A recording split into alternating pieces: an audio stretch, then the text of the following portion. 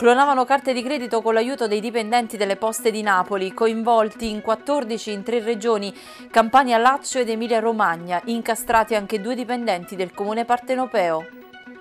Continuano senza sosta le ricerche di Giuseppe Pettorossi, il pensionato ottantenne di Baselice, di cui non si hanno più notizie da sabato scorso.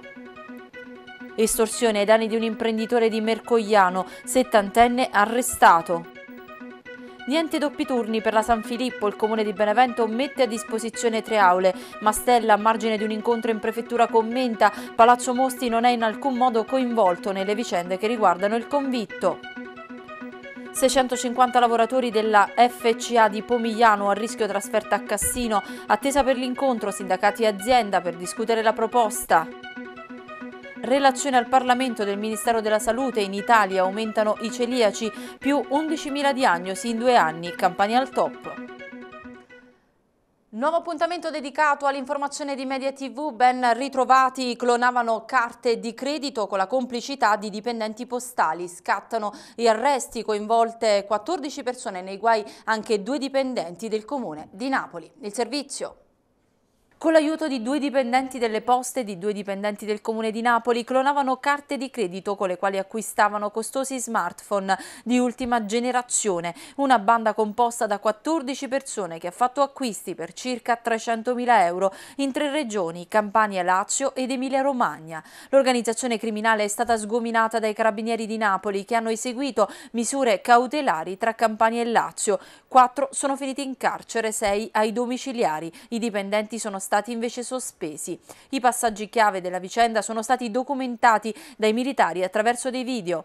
Le carte di credito venivano trafugate nei centri di smistamento postale del capoluogo campano con la complicità dei dipendenti delle poste durante il tragitto per la spedizione a casa dei titolari e poi clonate. Per gli acquisti venivano poi abbinati a documenti falsi prodotti con i dati sensibili forniti da due dipendenti dell'anagrafe del comune di Napoli che è estraneo alla vicenda. Assicurati alla giustizia giustizia, i due capi del gruppo, gli unici ad avere contatti con i referenti alle poste e al comune e con l'hacker che clonava le carte contraffaceva e falsificava i documenti. Sette persone andavano a fare gli acquisti e il ricettatore che piazzava sul mercato i telefonini a prezzi quasi uguali a quelli di mercato facendo intravedere l'affare agli acquirenti. Nel corso dell'indagine eh, è stato documentato l'utilizzo fraudolento di circa 30 carte di credito clonate eh, per un danno complessivo causato eh, alle parti offese di circa 300.000 euro. Le carte venivano asportate all'interno dell'ufficio di smistamento eh, delle poste italiane di Napoli da due dipendenti poi destinatari di misura cautelare clonate e eh, successivamente utilizzate in maniera fraudolenta in diversi esercizi commerciali di tutto il territorio nazionale. Eh, nell'utilizzo fraudolento delle carte eh, è stato anche ricostruito il passaggio di documenti falsi, in particolare contenenti i dati sensibili delle parti offese titolari delle carte di credito, dati sensibili che venivano captati mediante la partecipazione all'associazione per delinquere di due dipendenti destinatari del provvedimento restrittivo dell'ufficio anagrafe del comune di Napoli. 11 kg di marijuana amnesia sono stati sequestrati sull'autostrada Salerno-Reggio Calabria nel tratto che attraversa il territorio comunale di Sala Consilina. La droga era in una valigia custodita nel portabagagli di un'auto guidata da un pregiudicato calabrese di 50 anni. Lo stupefacente sequestrato e immesso sul mercato al dettaglio avrebbe prodotto un guadagno di circa 100.000 euro. È morto nella sua abitazione di Napoli all'età di 93 anni il professor Giuseppe Abbamonte, a lungo docente di diritto amministrativo all'Università Federico II, considerato uno dei massimi esperti della materia. Era l'autore di alcuni tra i più importanti testi universitari e generazioni di studenti si erano formati ai suoi insegnamenti. Fino all'ultimo aveva continuato l'attività di avvocato e collaborato con riviste di diritto. Armato di una siringa ha rapinato 2,50 euro ad un ragazzo che era in attesa di un bus. È successo a Napoli su corso Arnaldo Lucci dove gli agenti della Polizia di Stato hanno arrestato il malvivente. L'autore del singolare colpo è Luigi De Lucia, 36 anni di Maddaloni, ora è accusato di rapina aggravata e resistenza a pubblico ufficiale. Uno spacciatore africano originario del Gambia, Omar Minte, di 34 anni, è stato arrestato la scorsa notte dagli agenti della sezione UPG della Questura di Napoli nella zona dei Decumani, nei pressi della Basilica di San Giovanni Maggiore. L'uomo è stato sorpreso mentre stava vendendo una dose di sostanza stupefacente. Addosso il pusher aveva 45 euro. Continuano senza sosta le ricerche di Giuseppe Pettorossi, il pensionato ottantenne di Baselice, di cui non si hanno più notizie da sabato scorso. Sentiamo i dettagli. È uscito per andare al bar, un bar che di solito frequenta e che però quel giorno era chiuso. Avrebbe proseguito la passeggiata, ma da quel momento non ha fatto più ritorno a casa. È preoccupazione a Baselice da sabato 10 dicembre per la scomparsa dell'ottantenne Giuseppe Pettorossi. Sono riprese le ricerche da parte dei vigili del fuoco, di carabinieri, protezione civile e cittadini, utilizzati anche cani molecolari dei carabinieri fatti arrivare da Firenze. In soccorso delle squadre di ricerca sono arrivati anche un drone speciale che dall'alto ha mappato l'area, una nuova unità cinofila da Matera, operai forestali, ma anche e soprattutto tanti cittadini che stanno battendo palmo a palmo il territorio. Eppure per ora niente, tutti gli occhi sono concentrati nelle campagne a valle del quartiere Erbastella. Che fine ha fatto Giuseppe? Ha perso l'orientamento? È stato colpito da un malore? Ogni angolo viene setacciato nella speranza di ritrovarlo sano e salvo. Il Tribunale di Santa Maria Capavetere ha condannato a 14 anni e 6 mesi di carcere l'immigrato georgiano trentenne per la violenta rapina in abitazione commessa il 5 giugno 2015 a Caserta ai danni di Mara Zinzi, figlia dell'ex presidente della provincia di Caserta Domenico Zinzi e sorella del consigliere regionale di Forza Italia Giampiero. I giudici hanno inflitto all'uomo 12 anni per la rapina aggravata e le lesioni e 2 anni e mezzo per la falsificazione del documento d'identità. Un altro complice è ancora ricercato. Estorsione ai danni di un imprenditore di Mercogliano in provincia di Avellino, settantenne, arrestato. Il servizio. È l'arresto per estorsione di un settantenne residente ad Avellino e con a carico svariati precedenti il bilancio dell'attività investigativa condotta dai militari della stazione di Mercogliano e del nucleo operativo della compagnia di Avellino. Al termine di una lunga ed articolata indagine, gli uomini del comando provinciale sono riusciti a cogliere in flagranza di reato un estorsore seriale che colpiva un imprenditore nel comune di Mercogliano. Questi, estenuato dalle continue minacce di morte e richieste di denaro che gli venivano rivolte ormai da anni, dopo l'ennesimo episodio ha deciso di denunciare il tutto presso la stazione Carabinieri, punto nevralgico dell'arma dei militari e primo contatto con i cittadini. Gli uomini dell'arma, coadiuvati dall'aliquota operativa, hanno analizzato tutti gli elementi a disposizione ed organizzato un mirato servizio. Ed è stato così che i carabinieri, grazie anche al coraggio della vittima e alla profonda conoscenza del territorio, hanno colto nella flagranza di reato il settantenne che aveva appena estorto denaro contante all'imprenditore Irpino. Scattate le manette ai suoi polsi, l'uomo, espletate le formalità di rito presso il comando provinciale, è stato condotto presso la casa circondariale di Bellizza Irpino, dove tuttora si trova a disposizione della Procura Irpina, diretta dal procuratore Cantelmo. Dopo una giornata di braccio di ferro, gli studenti del liceo genovesi di Napoli hanno lasciato l'istituto che volevano occupare per protestare contro alcune restrizioni decise dalla preside. La decisione di desistere è stata adottata dopo un incontro con la dirigente del liceo ottenuto anche grazie alla mediazione degli agenti della Digos della Questura di Napoli. Niente doppi turni per la San Filippo, il comune di Benevento mette a disposizione tre aule. Il primo cittadino della città, Mastella, a margine di un incontro in prefettura commenta Palazzo Mosti non è in alcun modo coinvolto nella vicenda che riguarda il convitto. Sentiamo. Al vertice in prefettura hanno preso parte la dirigente dell'Istituto di Piazza Roma, Giuseppina Ferriello, i vertici della provincia e del comune, dell'ufficio scolastico provinciale. Sul tavolo il caso del convitto Giannone di Benevento, a seguito della vicenda esplosa lo scorso 2 dicembre, quando la preside ha comunicato ai genitori dei ragazzi regolarmente iscritti alla San Filippo che a causa di una interdizione del comune per la ridotta capienza delle aule, gli studenti sarebbero stati costretti ad alternarsi tra i banchi. Dalla comunicazione si passò alla protesta delle famiglie. Nel corso di una riunione straordinaria decisero di andare a protestare a Palazzo Mosti per chiedere una risoluzione veloce alla vicenda. Risposte che oggi sarebbero arrivate, almeno per quanto riguarda i doppi turni. È emerso innanzitutto un doppio piano il primo è quella funzionalità perché c'è la inidoneità di alcuni alunni per gli spazi di convivere con gli spazi stessi, quindi il rapporto è so, 13 e invece occorrerebbe fare una cosa di, diversa. Per cui noi come comune abbiamo detto che siamo disponibili a dare alcuni locali che già sono stati precedentemente tre aule nella San Filippo laggiù dove stanno le suore, quindi c'è anche la mensa, per cui per quanto ci riguarda il problema è risolto. E questo vale per le famiglie, voglio qua, che significa evitare il doppio turno, quindi con le tre aule che noi diamo come comune mettiamo a disposizione, facendoci carico di questo evitiamo il problema. Diversa è la questione che si è posta qua del, del, convitto, quindi va spiegato anche agli esposti fatti eccetera.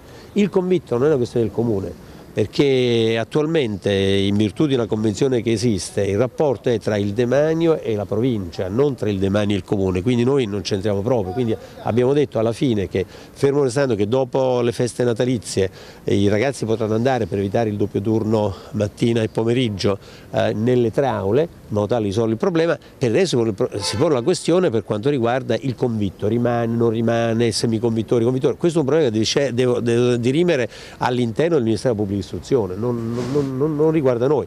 Se poi il demanio alla fine dovesse dire ve lo prendete il, il convitto, noi decidiamo se prendono il convitto, ma insomma evidentemente siamo anche disponibili laddove ci sono le condizioni. Ma per oggi è solo la funzionalità, per la funzionalità scolastica e quindi educativa e formativa il Comune dà la risposta, ma non da oggi, già precedentemente avevamo detto alla, alla preside, alla, alla, alle mamme che ho incontrato che noi siamo disponibili e abbiamo trovato la soluzione. Resta tuttavia da chiarire che fine faranno gli spazi del convitto Giannone che attualmente sono utilizzati dal liceo Guacci, ma sentendo le parole del sindaco Mastella toccherà all'ufficio scolastico provinciale, provincia e Ministero della Pubblica Istruzione per mancanza di competenza trovare una soluzione. La Rocca dei Rettori in particolare dovrà necessariamente esprimersi, mentre nella scuola di Piazza Roma sono presenti diverse figure professionali che però non possono espletare le mansioni di servizio mensa e studio assistito a causa della mancanza di spazi adeguati, un caso che la dirigente Ferriello ha denunciato alla Procura della Repubblica, alla Guardia di Finanza e all'ANAC. Martedì nero sul fronte trasporti per i cittadini di Napoli e dell'intera città metropolitana, tutta colpa dello sciopero degli autobus ANM e CTP. Sentiamo. Uno stop in pieno fervore natalizio tra limitazioni al traffico e ZTL, uno sciopero annunciato dalle 9.30 alle 13.30 per autobus ANM e CTP, metropolitana linea 1 e funicolari, fermi 4 ore anche gli ausiliari della sosta, regolari invece le corse della linea 2 San Giovanni Pozzuoli gestita da Trenitalia, adesione altissima a Napoli, la mobilitazione è stata decisa per scongiurare il fallimento dell'ANM, la più grande azienda di trasporti cittadina. Lo sciopero arriva dopo quattro incontri andati a vuoto tra i sindacati e gli assessori al bilancio Salvatore Palma e alla mobilità Mario Calabrese, a cui si aggiungono altre riunioni con la dirigenza. Hanno incrociato le braccia sei sigle CGL, CISL, WIL, UGL, URSA e FAISA CISAL. Tra le motivazioni della protesta la grave crisi finanziaria della holding che gestisce bus, metro, funicolari e Napoli Park di proprietà del comune, azienda in perdita di esercizio per 51 milioni e mezzo. L'assemblea dei soci prevista per venerdì 16 è stata rinviata al 28 dicembre. In questa sede si decideranno le sorti dell'azienda. L'unica strada possibile è la ricapitalizzazione a fronte delle consistenti perdite. In più si formalizzerà la richiesta del comune alla regione di garantire servizi servizi minimi, finora appannaggio, tranne che in alcuni casi di Palazzo San Giacomo. Tutto questo si traduce in servizi carenti, lunghe attese alle fermate e procura forti disagi agli utenti. In più la gara per i nuovi treni della metropolitana linea 1 è bloccata a causa di un ricorso da parte delle aziende che hanno partecipato al bando. La prima udienza che si è svolta agli inizi di novembre, tutto si blocca e le attese in banchina aumentano. Con il broncio anche i dipendenti CTP dell'ex provincia, ora in carico alla città metropolitana, ugualmente sull'orlo dell'astrico. L'azienda soffre ancora troppo per il forte indebitamento pregresso. Più di 600 lavoratori della FCA di Pomigliano d'Arco a rischio trasferta a Cassino, attesa per l'incontro sindacati azienda per discutere proprio la proposta. Sentiamo. Circa 650 operai dello stabilimento FCA di Pomigliano d'Arco potrebbero partire in trasferta per lo stabilimento di Cassino, provincia di Frosinone, dove si produce l'Alfa Giulia e il SUV Stelvio. Secondo quanto si apprende, le trasferte e le relative indennità dovrebbero essere discusse nelle prossime ore nel corso di un incontro tra azienda e sindacati in programma a Roma. Sul tavolo ci sarebbe la proposta di FCA di mandare in trasferta gli operai pomiglianesi che vantano un'ottima preparazione professionale in attesa delle nuove assunzioni nello stabilimento di Cassino, ma con la sola indennità di viaggio la possibilità di pullman per accompagnare i lavoratori. La proposta però non sarebbe andata giù ai sindacati che da parte loro chiedono anche un'indennità di trasferta ma soprattutto l'inserimento nell'accordo di una nuova missione produttiva per Pomigliano, stabilimento dove vige il contratto di solidarietà per 3.217 lavoratori sui circa 4.500 in organico e dove al momento si produce la sola Panda, il cui modello dovrebbe essere sostituito nel 2018. Situazione che diventa ancora più tesa, secondo indiscrezioni trapelate, dalla possibilità che ha FCA di optare per un trasferimento diretto senza ricorrere alla trasferta volontaria. Situazione questa che sta agitando un po' con le maestranze dello stabilimento, preoccupate dall'eventualità di essere trasferite in altro stabilimento e con poche possibilità di rientro pomigliano. I celiaci nel nostro paese sono sempre di più, tanto che in soli due anni gli italiani colpiti da questa malattia sono aumentati di circa 11.000 unità. È il quadro che emerge dalla relazione annuale 2015 al Parlamento del Ministero della Salute, nel servizio anche il dato campano. Sentiamolo. Quasi triplicati nell'arco di otto anni sono gli italiani affetti da celiachia, passati da 64.398 del 2007 a 182.858 del 2015 e ciò avviene grazie soprattutto alla sensibilizzazione dei medici e degli operatori sanitari. Il dato emerge dalla relazione annuale al Parlamento sulla celiachia del Ministero della Salute. I celiaci in Italia al 31 dicembre 2015 risultano 182.858, quasi 11.000 in più rispetto al 2014. Le regioni che hanno registrato il più alto numero di diagnosi sono la Campania con 2.268 e la Lombardia con 1.867. Per maggior numero di celiaci residenti al primo posto si colloca la Lombardia con 17,7% e al secondo posto a pari merito la Campania e il Lazio. La popolazione celiaca per la natura autoimmunitaria della malattia risulta interessare più le donne, 129.225 che gli uomini, 53.633. Il celiaco si sottolinea nella relazione che rileva anche le tutele e l'assistenza previste con i nuovi livelli essenziali di assistenza, non è però solo a gestire la sua condizione, ma dalla sua parte ha un mercato che gli offre una vasta gamma di prodotti senza glutine, un servizio di ristorazione sensibilizzato e formato che gli garantisce un pasto senza glutine anche fuori casa e infine una normativa nazionale che da un lato promuove la prevenzione e la diagnosi precoce e dall'altro sostiene e supporta economicamente la necessaria dieta senza glutine. Inaugurati i mercatini di Natale e il taglio del nastro sabato a Cagliaccio, evento pilota di Creazione Festival, festival della produzione cinematografica d'autore organizzato dal comune appunto capofila di Cagliaccio e finanziato dalla regione Campania che coinvolgerà sette paesi dell'Alto Casertano. Nell'ambito dello stesso progetto saranno realizzate due opere cinematografiche, un documentario e un corto di fiction affidate ad un concorso aperto a giovani autori di tutta Italia, produzioni che saranno ambientate proprio a Cagliaccio e dintorni vi invitiamo a non perdere la nostra rubrica eventualmente che andrà in onda subito dopo il TG e si occuperà appunto di questo evento. Siamo allo sport, Serie A seduta pomeridiana per il Napoli a Castelvolturno. Gli azzurri preparano il match contro il Torino di domenica per la giornata numero 17 di Serie A alle ore 15. La squadra si è divisa in due gruppi. Gli 11 che sono andati in campo dall'inizio contro il Cagliari hanno svolto attivazione e lavoro tecnico. Gli altri uomini della Rosa dopo l'attivazione sono stati impegnati in una serie di partitini a tema per poi terminare la seduta con una partita a campo ridotto, terapie per Koulibaly. Serie B, ripresa degli allenamenti al Partenio Lombardi in vista della trasferta di Bari indisponibili in casa Avellino, Migliorini, Doncor e Paghera. Quest'ultimo si è sottoposto ad indagini strumentali che hanno evidenziato una lesione muscolare di primo grado all'adduttore destro. Proseguirà con terapie. Lavoro ridotto per Gonzales in gruppo Sumarè. Benevento in campo da oggi per la preparazione domenica alle 17 al Vigorito arriverà l'Ascoli, gli stregoni sono ad un passo dalla vetta ed era questa l'ultima notizia, vi lascio in compagnia delle previsioni del tempo, della nostra rubrica eventualmente di tutto il seguito della nostra programmazione. Arrivederci al prossimo Media News.